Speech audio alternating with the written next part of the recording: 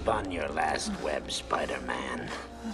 Had you not been so selfish, your little girlfriend's death would have been quick and painless. But now that you've really pissed me off, I'm gonna finish her nice and slow.